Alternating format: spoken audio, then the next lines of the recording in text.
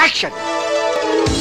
Akan ku abadikan Sekarang ni awak berada di puncak kegemilangan.